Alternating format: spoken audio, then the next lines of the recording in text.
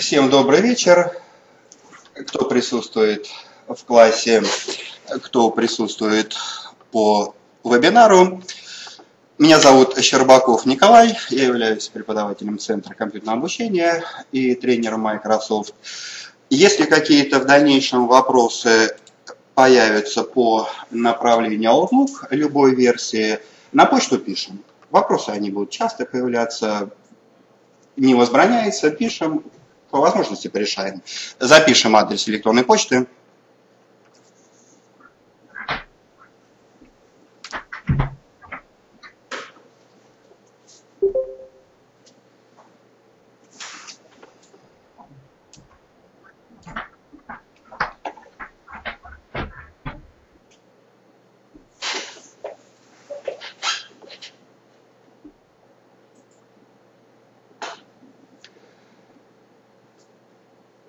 Сегодня мы рассмотрим новые возможности, появившиеся в Outlook 2016, пакет Office 2016.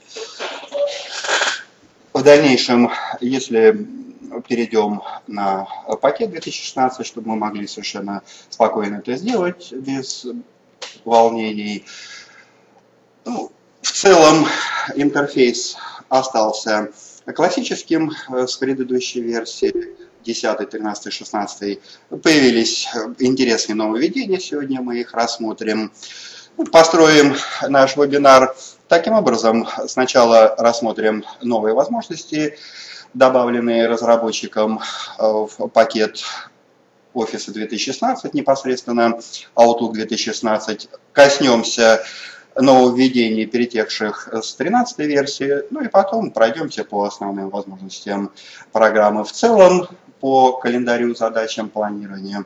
Именно чтобы, переходя на новый пакет, устанавливая, мы сделали это совершенно спокойно, без каких-то волнений, и спокойно использовали в работе.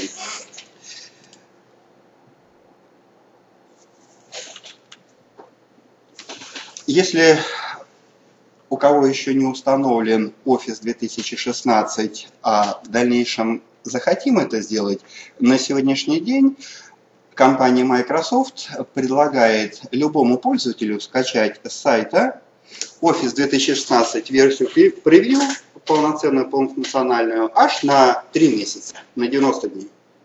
Вот, выйдя на сайт Microsoft, да, достаточно быстро по ссылкам, можем в запросе по ссылке скачать Office 2016, быстро найти ссылочку Microsoft, где на страничке нам будет предложено скачать 32 или 64 разрядную версию, ключ установочный, то есть на сегодняшний день компания предлагает это сделать легко.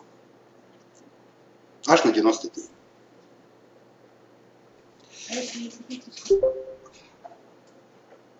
А Пока версия превью, финальная версия.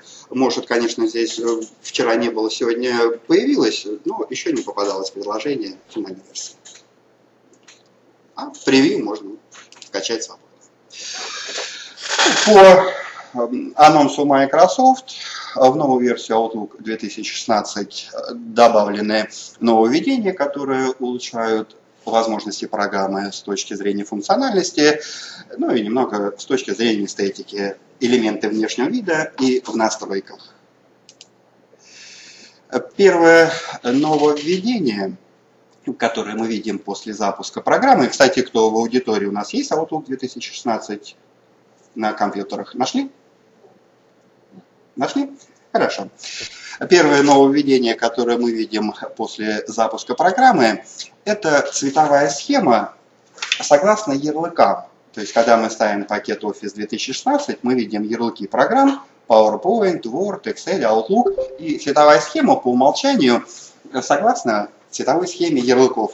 2016 Outlook это ярко-синий фон. Само собой можем поменять в любой момент. Настройки остались прежними во вкладке «Файл параметры в настройке темы офис, мы видим вот эти варианты. Ну, в десятом, в седьмом были варианты синий, черный, в десятом темно-серый, белый. Эм, В 13, в 13 аналогично, в 16 добавили еще разные цвета. Это вот эта цветовая схема ярко-синего варианта, файл параметров. То есть можно, естественно, померить. Но не столь значимый для работы вариант. Следующее нововведение по интерфейсу визуального отображения, когда мы меняем размер программы, конечно, не столь существенно по самой работе, но тем не менее, когда меняем размер программы, вот на скрин нажата кнопка «Ограниченный экран» и автоматически сворачивается области папок. То же самое, что мы можем делать, нажимая кнопочку «Свернуть и развернуть» или двунаправленной стрелочкой. Это делает сейчас программа автоматически. Ну, как анонсировано у разработчика, э, при небольшом окне внешний вид программы имеет э, отображение как на телефоне или на смартфоне. Ну, это анонс Microsoft. То есть панель папок сворачивается автоматически. Аналогично окошко, только с текстовым отображением. Следующее достаточно интересное нововведение, считаю достаточно серьезным его в плане работы. Ну, опять как анонсировано разработчиком, всегда на форуме Microsoft э, пользователи писали, что не удается быстро найти в справке нужный вариант команды. Там, как создать мероприятие, как создать встречу с приглашением, как назначить задачу, как отследить автоматические выполнения, ну и по любой программе иметь офиса, не быстро, если кто искал, в принципе, да, так оно имеет место быть. На сегодняшний день в пакете 2016 офиса и в Outlook в частности добавили серьезное нововведение, это помощник. Если обратить внимание, на панели вкладок есть область, называется «Что вы хотите сделать?». И вот в этой области мы указываем простыми словами запрос. Допустим, хотим создать задачу, хотим создать встречу, хотим создать контакт. И мы не просто получаем help, вот почему это новшество достаточно серьезное нововведение, мы не просто получаем help, а получаем реальную ссылку на выполнение этой возможности. И вот в следующем примере в области поиска я указываю ну, хочу изменить область чтения, забыл, как менять область чтения справа, или справа, или снизу. Начиная набирать область чтения, Outlook непосредственно предлагает команду, это то же самое, что мы сейчас были бы во вкладке «Вид» и нажав кнопку «Область чтения», выбирая справа, снизу «Отключена», сразу предлагает выбрать этот вариант. В следующем примере хочу создать собрание. Ну, кто использовал Outlook, повторю, мы Сегодня в процессе занятия еще пройдем по всем возможностям, чтобы совершенно спокойно увидели новую программу и при необходимости установив сразу начали работать. Неважно, кто какую версию использовал ранее. Но ну, а вот эти серьезные нововведения интересные. Хочу создать собрание. Ну, хорошо, перейду в папочку календарь, на ленте нажму кнопку «Создать собрание», а, вот, а в строке поиска, начиная набирать собрание, Outlook сразу предлагает команду выполнения этого действия. И если я сейчас щелкну по команде приглашение на собрание, откроется окошко с строкой «Кому» для указания приглашений, что, конечно, можно было сделать и через календарь. Ну продолжение поиска. Интересное нововведение.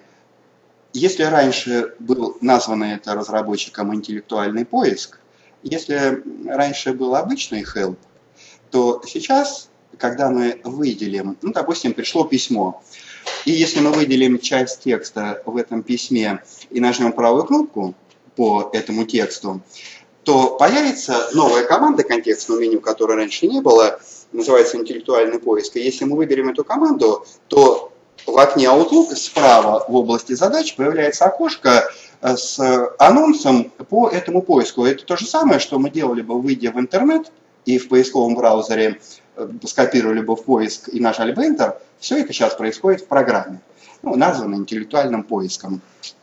Если посмотрим на следующее отображение, вот встал на полученное письмо, выделил Outlook, ссылочку в этом письме, нажал правую кнопку, появилась команда интеллектуальный поиск. Когда первый раз входится в эту команду, э, справа в области задач э, Outlook показывает там, условия конфиденциальности, нужно просто нажать кнопочку «Ясно». Ну, там в описании написано, что ваши сведения отправляются в интернет для поиска вашего запроса. Ну, следующее отображение. На наших компьютерах это нету. В данном случае я подготовил скрин экрана по данным возможностям. Ну, к нашим компьютерам мы еще обратимся. А, в следующем окне щелкнув по ссылочке «Ясно», справа в области задач программа показала мне критерии поиска, то же самое, что я искал бы в интернет. Если я щелкну по этой ссылке Outlook, откроется уже полный help Outlook, программа, пакеты Microsoft Office. А в следующем окне встал на очередное письмо Всемирная партнерская конференция. Еще раз повторю, использование интеллектуального поиска, выделив любой текст слова или любой текст в полученном письме и нажимая правую кнопку, контекстном меню добавили команду «Интеллектуальный поиск». Выбирая эту команду, справа в области задач появляется ссылка на наш запрос. То же самое, что мы увидели бы, если это делали бы в интернете. Только на сегодняшний день это происходит в окошке программы Outlook.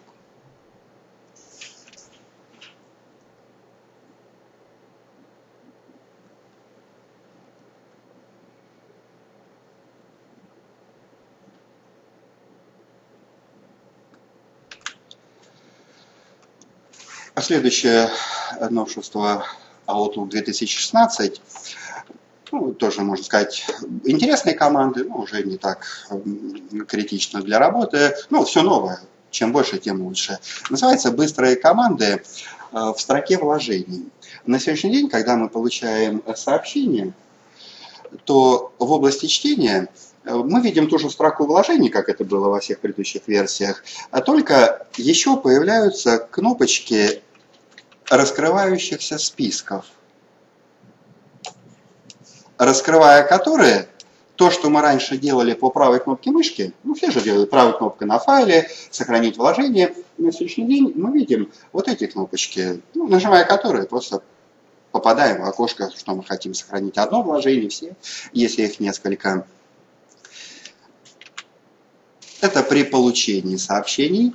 Еще более интересно при отправке на сегодняшний день в версии 2016, когда отправляем сообщение с вложениями, нажимая кнопку «Вложить файл», программа нам предлагает 12 последних использованных документов, ну, открыва, а, к которым мы обращались, так проще сказать. И неважно, пакет офиса или любые другие файлики. И плюс появилась возможность, но ну, о ней чуть попозже, вставка файлов из облачных серверов, в частности OneDrive.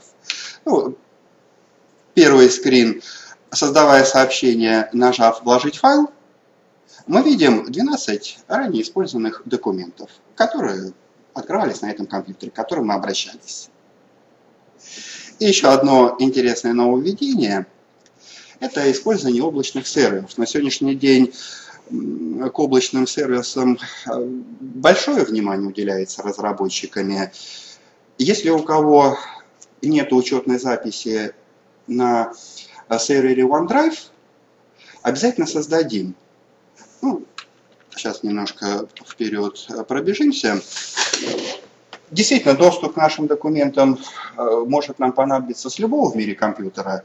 Находимся в командировках, в поездках, на отдыхе. И если мы хотим, чтобы какие-то документы были всегда у нас под рукой, не на флешках, а был бы компьютер с интернетом. Если у кого нет э, на сайте OneDrive учетной записи, это сделать можно буквально хоть сегодня за 5 минут вечером. Выйдя на этот э, сайт, нам предлагается зарегистрироваться, ну, просто заполнить анкету, как всегда, при регистрации почтового ящика. После чего нам предлагается загрузить на компьютер программку небольшую OneDrive. Ну, а использование это чуть буквально несколько слов. OneDrive, если кто не использовал, появляется папка на нашем компьютере OneDrive, и все, что мы на нее запишем, ну, скопируем любые наши папки, документы, мы увидим у себя в учетной записи OneDrive на сайте. Естественно, входя с любого компьютера э, в свою учетную запись OneDrive, ну, где есть компьютер с интернетом, мы увидим те документы, которые мы синхронизировали. То есть, записав программу OneDrive и заведя учетную запись, все, что мы в папку на своем компьютере OneDrive пишем, мы видим с любого в мире компьютера. Интересная возможность, если кто еще не пользовался. Ну, вернемся к скрин возможности. И вот следующее нововведение, когда мы вставляем файл, нажимаем кнопочку «Вложить файл», а кроме 12 ранее использованных документов, которые предлагается нам просто пометить для ставки, появляется еще строка «Обзор мест в интернете». И если мы имеем учетную запись на сайте OneDrive, появляется ссылка для выбора этой учетной записи. И выбрав эту ссылку, предлагаются те папки и файлы, которые мы храним в своей учетной, учетной записи OneDrive. Интересное новшество. Заведем учетную запись, если у кого она не заведена. Ну и небольшое дополнение. Когда мы вставляем файлы из папки OneDrive, нам предлагается выбрать разрешение. Вот здесь вставлен файлик презентация в письмо. И если нажать неспадающее меню рядом с этим файликом, вот эта кнопочка, которая появилась в сегодняшней версии, нам предлагается выдать разрешение, как мы хотим, чтобы пользователи использовали данный файлик, или просто для чтения, ну или для полного доступа, редактирования, сохранения.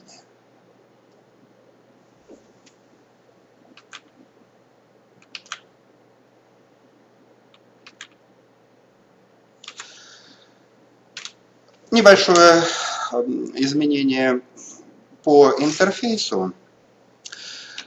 Когда мы получаем сообщение, которое было, было отправлено, кроме нас, еще группе людей, то мы по умолчанию видим не только не количество, как это было ранее в предыдущих версиях, э, видим не непосредственно имена получателей, а видим их количество.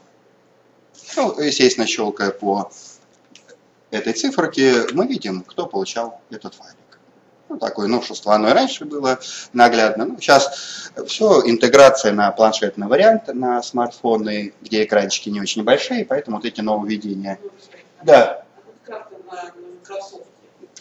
На Nokia, да, Microsoft операционная система, там, конечно, это наиболее удобно и наглядно экранчик сворачиваем, сворачивается справа область задачи. Вот это нововведение отображения. А следующая новиночка, названная клатте, ну, в переводе беспорядок, хаос. В папках Outlook в новой версии 2016, правда, забегая немножко вперед, данная возможность на сегодняшний день предлагается в бизнес-редакторе пакет Office 365 и бизнес-редакции Office 2016. Но в дальнейшем Microsoft обещает эту возможность предоставить всем пользователям. В принципе, там ничего такого э, особенного, что требует какой-то большой оплаты. Это папка Clutter, или в русскоязычной версии названная несрочная. Ну, сейчас мы оба варианта посмотрим. А суть этой настройки в чем заключается? Те письма, которые мы почти никогда не читаем, ну или долгое время не читая игнорируем, удаляем, не отвечая на эти письма, Outlook начинает понимать как несрочные и помещает их в специальную папку, то есть в папках, э, в области папок Outlook, в списке папок добавили на сегодняшний день папочку несрочные, ну в английской версии Clutter называется, и письма, которые мы частенько удаляем, не обращая на них внимания, не отвечаем, в дальнейшем будут сами в эту папочку попадать. Это полноценные письма, ничего с ними происходить не будет. А просто, чтобы не засорять почтовый ящик вот этой лишней рассылкой, которая, конечно, кроме нежелательной почты также приходит, ну, к некоторым письмам обращаемся, к некоторым нет, добавили вот еще такое нововведение несрочное. Если мы отнесем ну, система учится, как э, Microsoft анонсированное машинное обучение. Те письма, которые мы не читаем, не отвечаем, в дальнейшем будут сами помещаться в эту папочку. Те письма, э, которые явно э, нам не актуальны, мы просто буксируем, но не удалять, не хотим пока удалять, может быть, когда понадобится, мы их помещаем в папку несрочные, в дальнейшем программа будет это делать автоматически. Если вдруг какое-то письмо из ранее помещенных в эту папку автоматически или ручным способом мы отнесем в папку входящие, впредь Outlook больше не будет помещать их в эту папочку. Начнем в 2016 версии. Добавили папочку Клата в англоязычной версии или в русскоязычной несрочные. Единственное, повторю, если кто использует пакет офиса 365 или Outlook Preview версию 2016, этой папочки может не быть. Microsoft постепенно обещает ее во всей версии включить, пока она анонсирована в Office 365 для бизнеса и Office. И если мы имеем учетную запись Office 365 для бизнеса, входим и скачиваем бизнес-версию пакет Office полноценно на компьютер, эта папка появляется. Для дома и Office 365 для дома, она пока отсутствует, эта папочка. Если кто использует Office 365, э, по умолчанию эта папка отсутствует. Ну, так решили ее по умолчанию не отображать. Ее легко отобразить в настройках офиса ну, если посмотреть на интерфейс 365 офиса, то наверху кнопка «Настройка», команда «Параметры». И в параметрах Outlook в команде «Несрочные» есть команда «Отделять несрочные элементы». После выбора этой команды эта папка появляется. Общем, по умолчанию в десктопной версии 2016 эта папочка есть. Кто использует 365 офис, ее нужно включить кнопки настройка, параметры. У нас это нет. Это я по 365 офису немножко о настройке сказал. Кто-то, возможно, использует. Чтобы ее получить, нужно включить, отображать эту папку, отделять несрочные элементы, как эта настройка называется. Ну, когда мы активируем эту команду, появляется папка несрочная с письмом описания основных возможностей по этой папке. Вот папочка несрочная в пакете 365 офиса. Вот папочка несрочная в десктопной версии Outlook. То есть появилась еще одна папочка. Ну что вот самые основные возможности новой версии 2016. То есть не так много. Наиболее интересные это интеллектуальный поиск. Выделяя в письме любую ссылку, любой текст, нажимая правую кнопку, мы получаем команду «Интеллектуальный поиск», щелкая по которой не в интернете, как бы мы искали, а в окне Outlook предлагается анонс по этому критерию. Помощник. Серьезное нововведение, помощник. Действительно, еще раз вернемся к предыдущим скрин-экранам на панели вкладок появилась область «Что вы хотите сделать?». И щелкая в этой области, как только мы начинаем печатать запрос, хотим создать встречу, собранию, задачи, контакт, хотим непосредственно какое-то действие, включение помощника, и как только мы начинаем указывать запрос в этом поле, программа не только help предлагает по описанию этой возможности, а сразу команду ее выполнения. То же самое, что мы выходили в программу, в папку, меню находили. Серьезный help, серьезное нововведение. С вложениями интересные нововведения появились. Открывая, создавая письмо, вложить файл, появляются 12 последних файлов, к которым обращались на этом компьютере, и возможность вставки документов с нашего облачного сервиса OneDrive. Если кто не зарегистрирован на сайте OneDrive, зарегистрируемся, заведем себе учетную запись, понадобится. Может, какие-то не, не такие DSP или личные документы, но к которым доступ мы хотим иметь, отображается. При получении письма, отправленное нескольким адресатам, мы видим не список э, всех получателей, а видим количество их получателей. Щелкая по этому количеству в ниспадающем меню, ну, отображаются эти адресаты меняя размер окна на сотовых телефонах, планшетах это происходит автоматически, сворачиваются элементы окна, подстраиваясь под данное разрешение.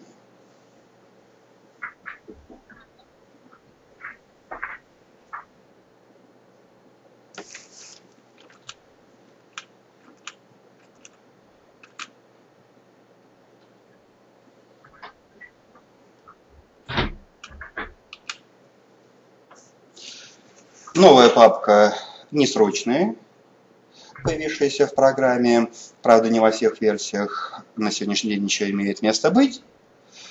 Если какие-то письма мы игнорируем, в дальнейшем они сами начинают в эту папку помещаться. Они полноценные, можно всегда к ним вернуться. Если мы поместим в эту папку некие письма, подобные будут в эту папку в дальнейшем программой помещаться автоматически. Периодически просматриваем папку несрочная, ну или в английской версии клата. Если какие-то письма актуальные, чтобы впредь программа не помещала их в эту папку, переносим их в папку входящие. Впредь программа так поступать не будет. То, что нового перешло с 2013 версии. Это тоже нововведение. Сейчас они аналогично присутствуют. Ну, первое, левая область, раньше называемая до 2010 версии область, пап, э, область переходов, сейчас назовут даже, ну да, область переходов, дословно, сейчас названная панелью папок. Нижняя часть, то, что было в предыдущих версиях в области переходов, кнопки папок, задачи, календари, заметки. Сейчас их расположили в нижней полоске. По умолчанию, помню, первый раз увидев как-то не очень привычно, область навигации. То, что ранее было в папках, в левой части задачи, здесь были папки контакты, календарь. Сейчас это расположили в нижнюю полоску, называется область навигации. Быстрые действия. То, что мы имеем в сегодняшней версии и в 13 а в предыдущих версиях было на ленте переслать, ответить, ответить всем. В текущих версиях сделали быстрые действия. Ну, как по разработчику, немного быстрее вы отвечаете на сообщения, нажимаете кнопки, сразу переходим в окошко ответа, пересылки. Наверху в сводной строке кнопки быстрых действий. Команды в списках сообщений. Если мы прочитали какое-то сообщение, но сделали это на бегу, к которому мы захотим в дальнейшем вернуться, конечно, через некоторое время мы о нем забудем.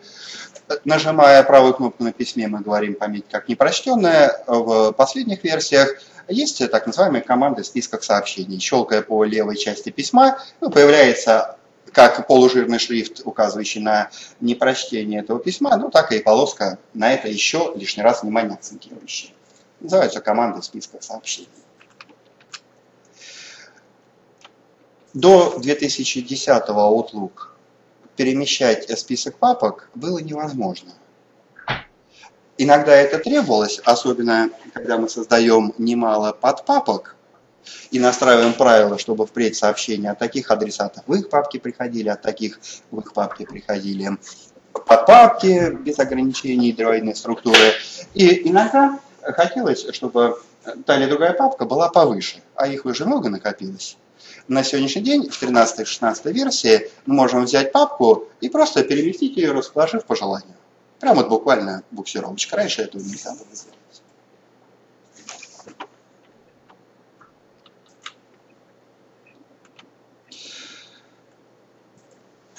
Быстрое э, представление о календарных планах. Переходя в папку «Календарь», мы видим наши мероприятия на текущий день, ну в зависимости от отображения день, неделя, месяц на соответствующий период. Не переходя в папку «Календарь», находясь в папке «Почта», просто наводя курсор мышки на папочку «Календарь», в области навигации, Outlook сразу показывает, э, есть ли какие мероприятия на сегодняшний день. на наших компьютерах не запланировано ничего. Здесь опять на скрин экрана. Называется «Имейте представление о календарных планах на текущую дату». Тоже неплохое нововведение. Мы занимаемся у нас другие дела, нам ни секунды нету, не до этого. Навели курсор, вот нам предстоит идти на переговоры, на встречу. То есть сразу видим эти мероприятия. Ну, погода – интересная возможность. Опять же, на поиски набрать э, погода в такой-то стране, мы увидим, но переходя по нескольким ссылок, ссылкам, затратив на это время, на сегодняшний день, в 13-16 Outlook, находясь в папке «Календарь», наверху мы видим прогноз погоды. Если хотим посмотреть погоду в другом городе по умолчанию Москва отображается, щелкнув мышкой на отображение соответствующего региона и набрав город, подтвердив Enter, Outlook покажет погоду. Ну, Форека по умолчанию, то есть иногда вопрос, а, кто у нас поставщик этой погоды, ну, по умолчанию в Outlook Форека используется как поставщик данной услуги.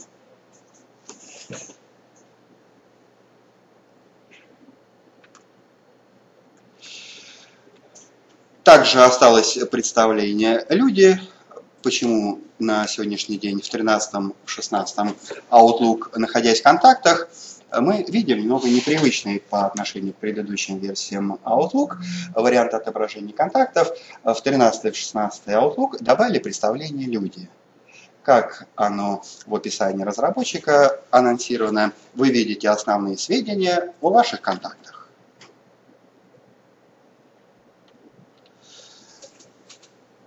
Ну, вот это все нововведения 16-го пакета офиса программы Outlook, нововведения, оставшиеся с 13-й линейки офиса. Ну а теперь пройдемся в целом по направлению Outlook. Кто, как мы уже сказали, использовал ранее программу, увидит совершенно свободную работу и, переходя на новый офис, также свободно начали использовать данную программу. Ну, выхожу в реальный Outlook. 2016 версия превью, которую, как мы вначале сказали, предлагает сегодняшний день любому пользователю. Кто хочет сказать, скачать, можно это сделать сегодня вечером. Все настройки остались классические, панель вкладок, лента, группы кнопок. Левое поле область папок, нижнее поле, область навигации. Настройки во вкладке «Файл параметры» мы видим. Ну, то, что уже касались темы офис, если хотим поменять. Настройки папок Outlook, папка почта, календарь также присутствует, как и в предыдущих версиях. В общем, интерфейс остался классическим по настройкам. Левое поле область папок разворачиваем, сворачиваем. Правую часть область чтения на вкладке «Вид» область чтения отображаем справа снизу, отключена кому как привычно работать до 2003 версии, она снизу была с седьмой версии, добавили справа. Для создания сообщения, ну, та же кнопочка на ленте, как и, впрочем, в остальных папках, мы видим кнопку создания элемента этой папки, создавая сообщение. Заполняем необходимые поля. Кому копия, скрытая копия темы, текст сообщения. Все, что нам понадобится добавить при создании сообщения, мы находим или в группе теги, нажимая кнопку «Дополнительно», или открываем вкладочку «Параметры», ну и те же кнопки «Дополнительно», а именно можем настроить временную задержку, чтобы сообщение ушло в указанное время. Если сейчас то же самое проделываем, нажмем «Создать сообщение», нажали, и в группе теги нажмем кнопочку «Дополнительно». Вот эта кнопочка, ее общее название – дополнительные параметры. И вот все, что нам понадобится дополнить при создании сообщения, мы находим вот в этой команде. Ну а по командам, какие здесь настроечки, срок действия истекает, чтобы у адресата при получении сообщения письмо перечеркнулось в указанное время, ну, имеется в виду, можно на него внимание обращать, не обращать письмо останется полноценным, можно на него отвечать. Письмо в это время перечеркивается, если кто не пользовался командой. Срок действия истекает, или в предыдущих версиях называется не действительно э, после. У адресата в указанное время письмо перечеркивается. Ну, в плане можно не обращать на него внимания. Тут настроечка. Не доставлять до. Если актуально, чтобы письмо ушло в указанное время, можно активировать эту команду. Письмо повисает в папке «Исходящее», и когда время наступает, оно уходит. Нет, компьютер должен быть включен, более того, Outlook должен быть загружен. Это клиентская настройка, это не серверная. Компьютер и Outlook должны быть загружены. Если мы Outlook э, закрываем, не страшно, но письмо уйдет, когда мы в следующий раз Outlook откроем. Единственная тонкость, э, внимание, если кому не доводилось ранее использовать, адресат при получении письма э, во времени отправки он получит его, когда мы укажем, там 19-20, а во времени отправки мы увидим, когда мы его отправили. Ну, то есть это важно. А то э, можно же сказать, Светлан, до 5 часов подготовь договор и отправь его заказчику. Ну, как-то мы так э, или побаловались, или сделали команду отправить его в 6 часов. То есть Светлана получит в 6 часов письмо, а мы такие, Светлана, ты чего это? Мы тут написали с утра подготовить договор, а мы его только в 6 получили а Светлана крайне, а я его в 6 получила, а мы, а нет, мы тебе в 10 отправили. То есть во времени отправки в свойстве письма будет, когда оно отправлено. Оно придет в 7 вечера, но когда оно отправлено, конечно, мы его видим. Уведомить о доставке, уведомить о прочтении. Ну, команды классические, если мы хотим, чтобы пришло уведомление, доставлено, прочтено. Активируем эти команды. Единственное уведомление о прочтении по желанию пользователя. Когда он откроет это письмо, у него выйдет команда адрес, отправитель запрашивает уведомление о прочтении, хотите его отправить или нет. Ну а кнопки голосования, интересная настройка, чтобы адресат для ответа на письмо ответил не в вольной форме, а предложенными вариантами ответа, мы можем активировать команду кнопки голосования, и у адресата появятся эти кнопочки для ответа на письмо, он нажмет эти кнопки. Можно оставить предлагаемый вариант, можно написать свой. Единственное правило через точку запятой. Правда, возможность работает только на Exchange сервере. Если мы настраиваем Outlook на учетную запись интернета, эта команда не работает. Только на Exchange сервере. Ну а в целом все, что понадобится при создании сообщения в плане дополнения. Группа теги, кнопка параметры. Высокая и низкая важность команды классические, начиная с первых версий, к исполнению. Чтобы у адресата сообщение было помечено пометкой к исполнению, и в указанное время лишний раз вышло напоминание пометки к исполнению. Можно помечать к исполнению отправляемые письма. Можно любые свои письма, нажимая правую кнопочку на флажке в области отображения. Мы можем любые уже полученные сообщения данными пометочками отмечать. Добавлять напоминания. Актуальная, особенно по работе команда. Не забыть об этом. Завтра начать э, рассылку приглашений, послезавтра подготовку договора. Все не упомнить. Добавляем напоминания к сообщениям. Это будет наглядно визуально и в указанное время лишний раз выходит напоминание о необходимости ну, соответствующей пометочки. Заместитель на учетной записи Exchange сервер на учетной записи почты интернета также эта команда недоступна. Ну а в компании актуально, чтобы в наше отсутствие уходил автоответ, вкладка файла автоответы. Говоря «отправлять автоответы», указываю текст, который будут получать адресаты, отправляя нам сообщения. Ну, когда у нас включен заместитель. До седьмой версии команда файл заместитель, сейчас ее назвали автоответы. Кто в компании, на Exchange сервере для включения автоответов, файл автоответы, отправлять автоответы. И указав текст, он будет уходить. Вкладочка «Файл», автоответы. И команды отправлять автоответы, и текст, который будут видеть адресаты, отправляй нам сообщение.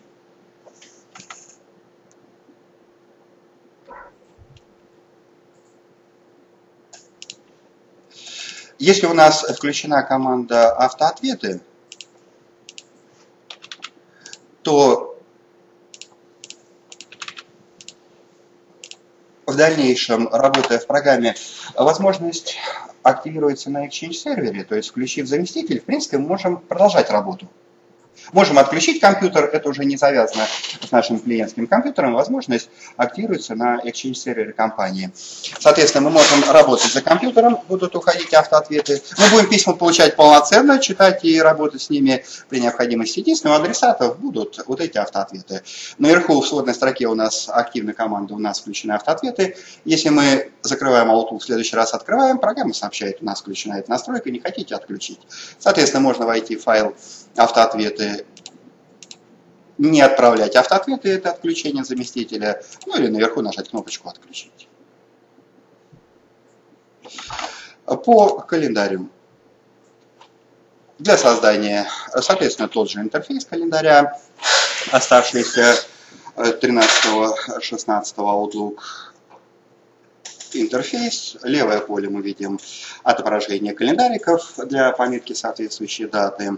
Для создания встреч, событий, собраний на ленточке мы нажимаем «Создать встречу», нажимаем, заполняем соответствующие поля. Для создания разового мероприятия заполнив тему, место, начало, конец. Ну, записная книжка, конечно, при необходимости поднять такой-то вопрос, э, не забыть о таком-то документе, сохранить и закрыть. Если встреча повторяющаяся, допустим, у нас ежедневно планерка происходит, нам нужно не вручную на несколько дней, а то и сотен дней внести это мероприятие, Заполняя поля, мы активируем команду повторения. И в открывшемся окошке соответствующие дни и даты повторения. Вот в данном окне и мероприятие планерка, нажав повторение, я указал ежедневно, каждый рабочий день.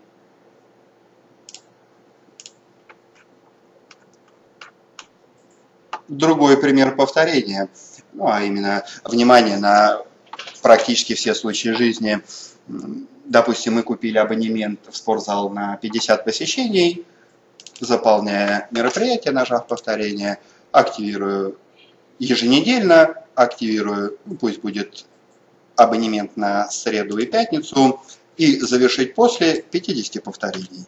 Outlook автоматически распределит по средам, пятницам до указанной даты. Можно потом в календаре посмотреть, а можем сразу, если активирую дату окончания, а вот тут показывает, что до 2 марта 50 по средам, пятницам посещений.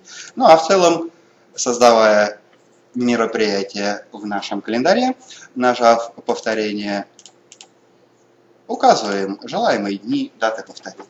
Ну а разовое мероприятие заполняя, просто сохранить и закрыть. Также можно буксировать повторение, кнопка повторения. Если у нас на выборочной даты мы договорились о таком-то мероприятии еще поговорить на такие даты. Рассылку приглашений мы будем делать сегодня и еще во вторник и в понедельник. Просто берем мероприятие, буксируем на эти даты.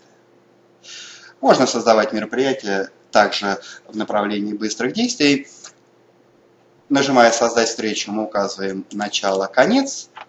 Можно в плане визуализации окинув свое расписание, мы так с двух до трех будем работать над таким-то проектом, выделив и нажав «Создать встречу», начало-конец сразу прописывается. Интересно, возможно способ выделив, сразу начало-конец прописывается. Чтобы создать собрание, мы нажимаем «Пригласить участников». Здесь также возможность осталась классическая. Приглашаю участников. Появляется строка «Кому». Нажимая которую мы указываем адресатов и нажимая «Отправить», в нашем календаре появляется это мероприятие. Адресаты в папку входящие получают сообщение с приглашением. И если оно принимается, данное мероприятие появляется в нашем календаре. Ну, пока мы видим классические настройки и команды создания встреч событий. Собрание встреча с приглашенными, события, допустим, у нас на завтра планируется мероприятие, выставка, нажимая «Создать встречу». Если мы активируем целый день, мы уже создаем событие. Событие отображается в сводной строке, то есть оно не конфликтует с остальными событиями. Ну, естественно, у нас может проходить выставка и тут же работа с документами, встреча с клиентами, события в сводной строке. Папка задачи. Продолжение нашего расписания. Мероприятия, которые требуют не один день, неделю выполнения.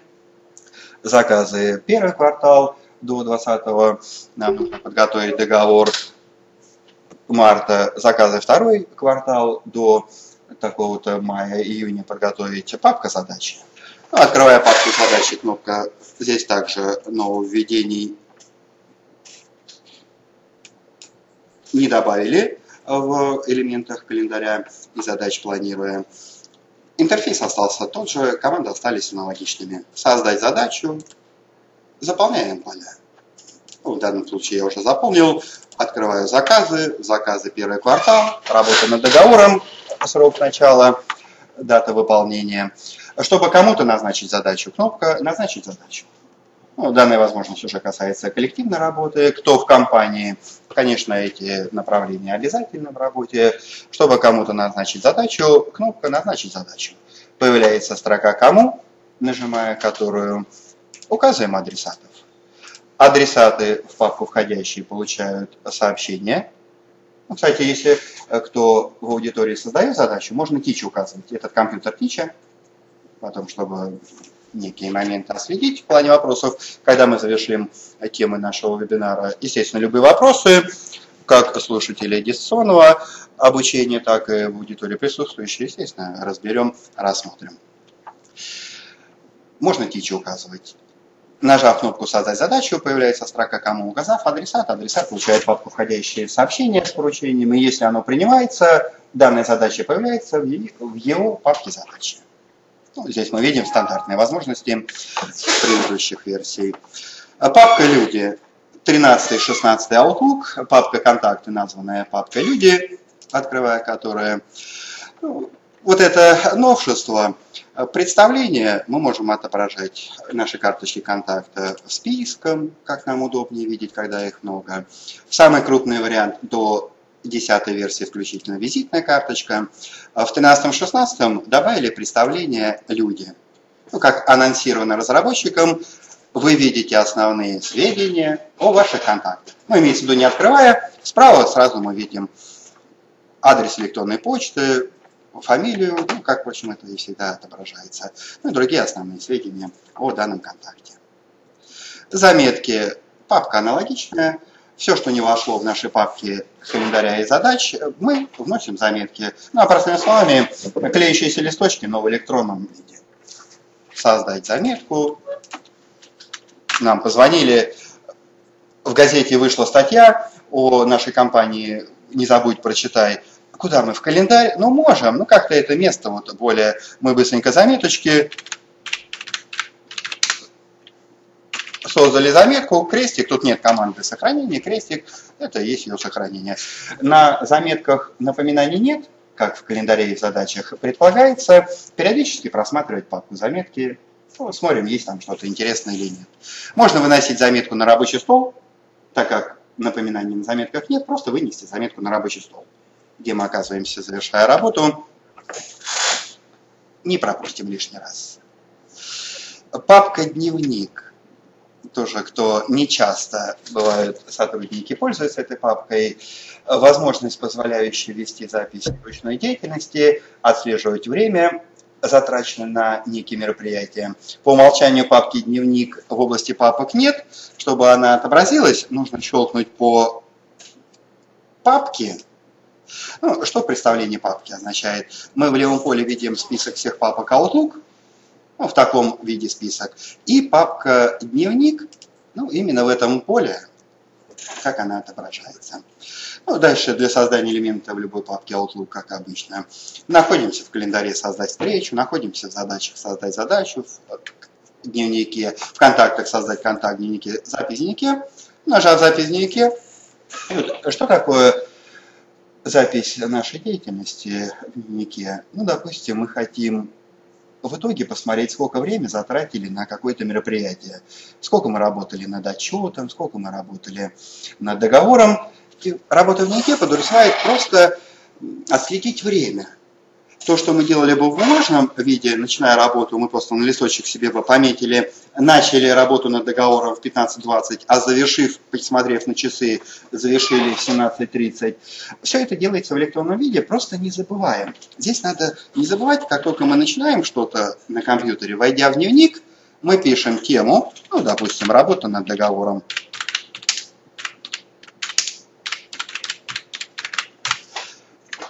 Можно выбрать тип записи. Это значок, в котором отображение этого элемента в дневнике будет отображаться. Не обязательно, ну, иногда накапливается. Есть даже вот телефонный звонок, ну, что-то на вроде хотим отследить время, сколько мы на телефон потратили, здесь, конечно, нужна ловкость рук. Сняв трубку в дневник, мы, войдя, говорим разговор с таким-то городом и нажимаем «Запустить часы». Ну, есть так называемый телефонный звонок. Ну, в данном случае работа над договором больше на задачу подходит. И вот продолжим суть дневника. Начиная какой-то проект, если мы не забудем войти в дневник, нажав запись в дневнике, напишем тему и нажмем «Запустить часы», а завершив работу над этим проектом, ну, естественно, сворачиваем, работаем. Занимаемся своими делами, просто не закрываем эту запись. А когда мы в дальнейшем завершим работу, вернув эту запись, время будет автоматически. Ну, сейчас, естественно, время мы не будем ждать. Ну, напишу руками, что, в принципе, тоже Outlook не запрещает. Можем приписывать себе время. И если мы так делаем, то в дальнейшем, входя в дневник, мы увидим ну, по умолчанию так называемая временная шкала в отображении элементов дневника. Наверное, это наиболее ненаглядный вариант. Здесь больше список подходит. Если мы захотим в дальнейшем посмотреть, сколько раз работали над договором, то мы сейчас нажимаем «Запись в дневнике» и пишем то же самое. Ну, завтра продолжим работу. Мы открываем, говорим «Работа над договором». И, соответственно, опять запустить часы, ну, опять ждать не будем, напишу, сколько это сохранить и закрыть, то потом мы увидим просто список, когда мы этим занимались, а время Outlook показывается автоматически. Чтобы накапливалось, сегодня поработали 50 минут над договором, завтра продолжим. И вот, чтобы накапливалось, мы просто двойным щелчком открываем ранее созданную уже запись и просто нажимаем «Запустить часы». Ну а в целом возможность дневника Outlook, позволяющая отражать записи, над чем мы работали, и запуская часы, программа отслеживает время автоматически, чтобы мы в дальнейшем посмотрели в дневнике, над чем мы работали и сколько времени на это тратили. Единственное, просто нужно при необходимости отражения записей в дневнике нажимать «Создать запись», завершая, нажимать «Сохранить запись». Вот работа с дневником.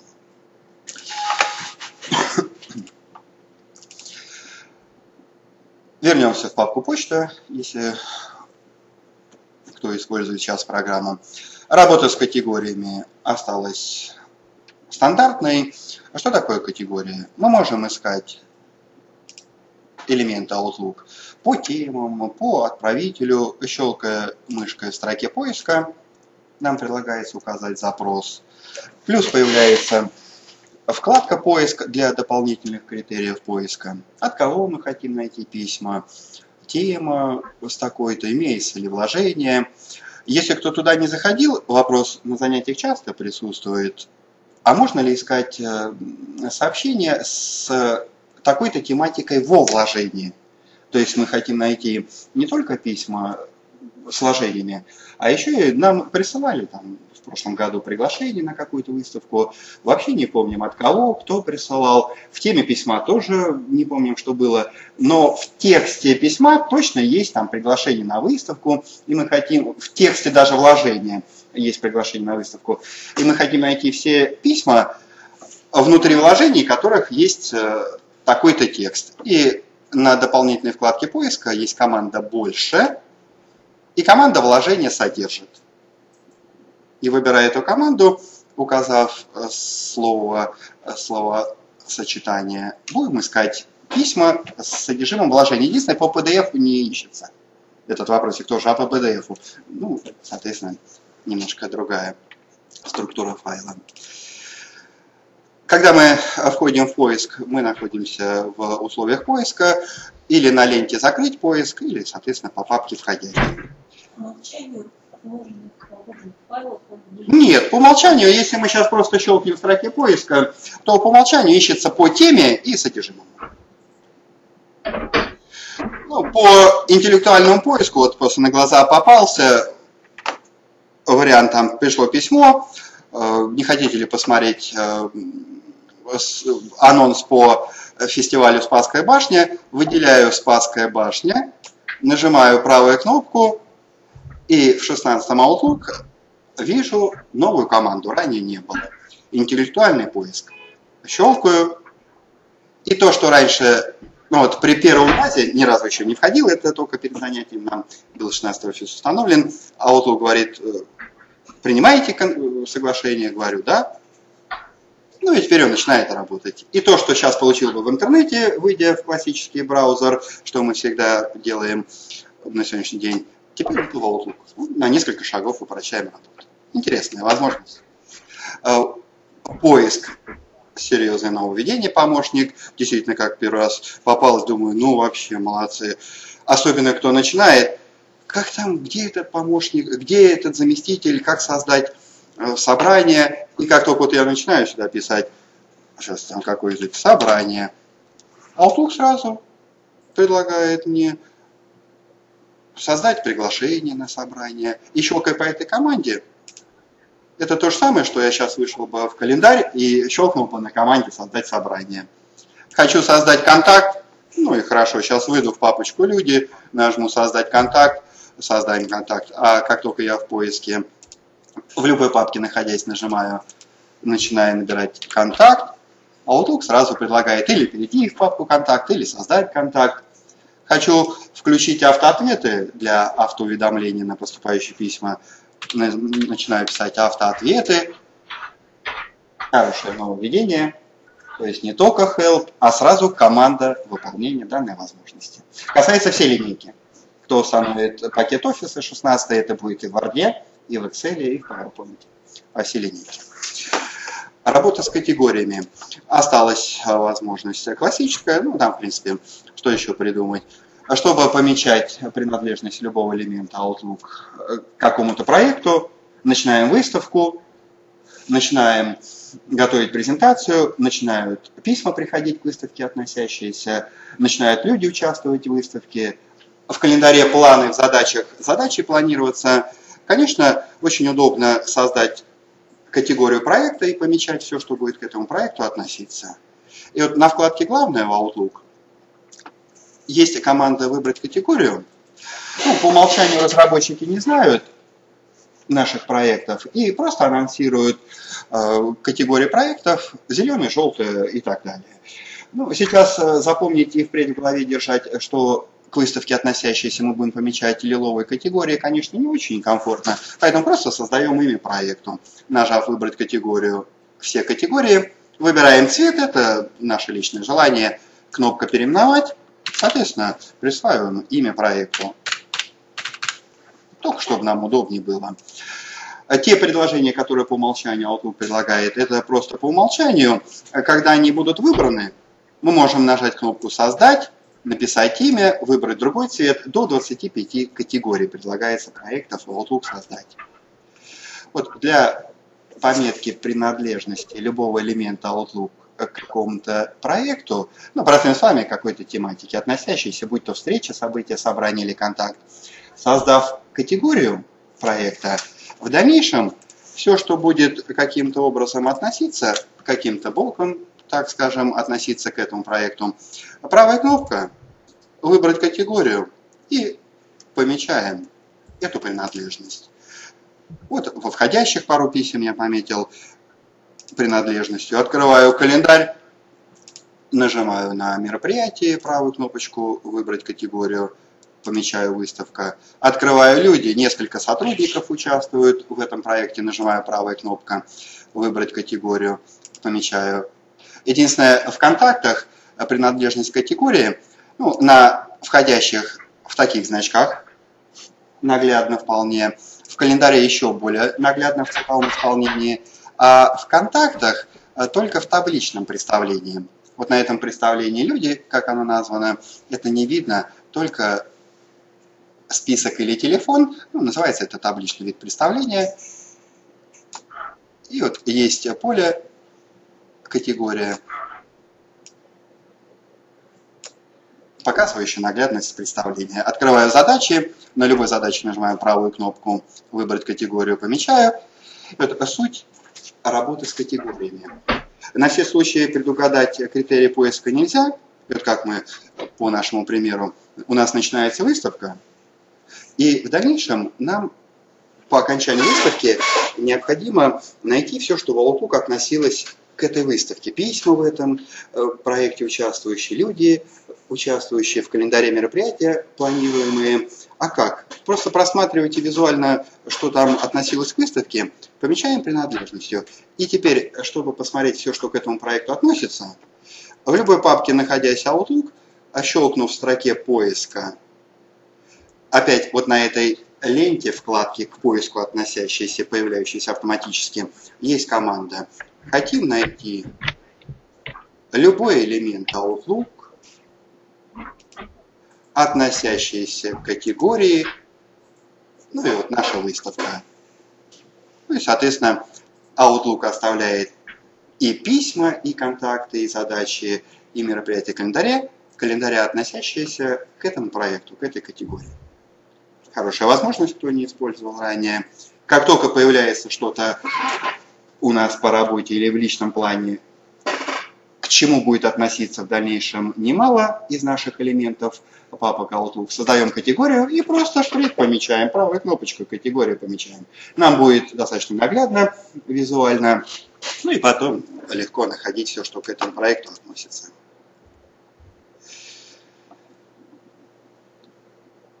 Архивация для дома это не так э, принципиально все наши данные Outlook хранятся в файле, называется он файл данных. Кто на работе, всем выделяется определенный размер почтового ящика. И с определенной периодичностью необходимо обращаться к архивации, чтобы элементы, поступившие или созданные до такой-то даты, уходили в архив. Ну, самое главное, суть архивации в Outlook, что подразумевает? Это не та архивация, что Windows, а освобождение почтового ящика. Всем в компании выделяется какой-то размер почтового ящика. Всем. Кому 2 гигабайта, кому 5 гигабайт, где-то такой классический вариант. И когда наш почтовый ящик заполняется, у нас выходит сообщение, что при заполнении почтового ящика отправка прием сообщений становится невозможной. Поэтому с определенной периодичностью приходится обращаться к архивации. Ну, команда осталась прежней. Вкладка «Файл», средства очистки, архивировать. Вкладочка «Файл», средства очистки, ну, там же, где автоответы, архивировать. В открывшемся окне мы указываем папку, элементы, которые архивируем, ну, как правило, входящие. Повторю, вот если мы сейчас доведем до конца, письма, поступившие до такой-то даты из папки входящие, исчезнут, но ни в коем случае не удалятся, а в области папок Outlook появится папка «Архивы», с полноценной структурой папок под папок, где эти письма себя прекрасно чувствуют, но они уже с сервера компании автоматически перемещаются на наш локальный компьютер. Делаем с ними любую работу, отвечаем на них, мы высвобождаем место почтового ящика.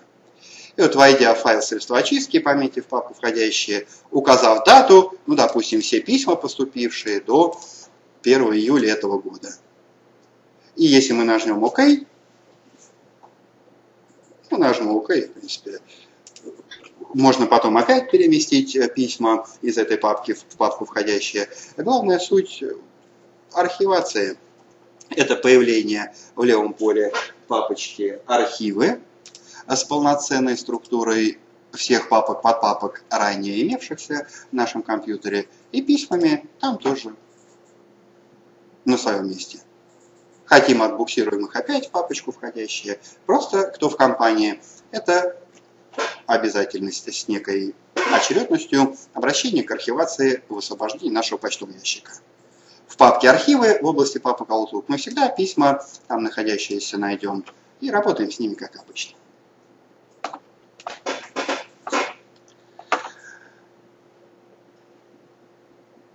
Ну что, вот все возможности мы видим Office 2016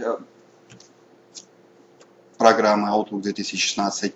Интересные нововведения, в начале о которых мы говорили, работа с вложениями, интеллектуальный поиск, облачный сервис, вставка файлов во вложение с нашего сервиса OneDrive, кто не завел, заведем.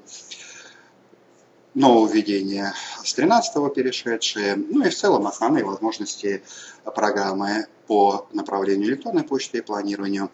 Конечно, это самые-самые основные возможности, по которым мы пробежались. Кто работал, эти возможности в основе своей использовал. Ну, кому ново, конечно, более подробное изучение данной программы. Ну и, конечно, об этом мы помним всегда. В центре обучения практически тысяча направлений, тысяча курсов, которые мы можем проходить. Если кому, кому полное изучение программы Outlook, возможности планирования, коллективной работы очень много. Конечно, есть курс по данному направлению. Четыре занятия, где мы все это очень подробно, как по почте это только основные, мы осветили сегодня возможности, самые-самые основные, так и по планированию. По тестированию.